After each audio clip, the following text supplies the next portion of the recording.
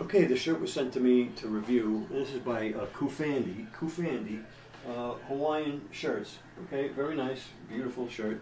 Like the way it fits. This is a medium. I'm 5'6", about 160 pounds. A little bit of a gut, but it's forgiving. It's not that tight. Can still move around.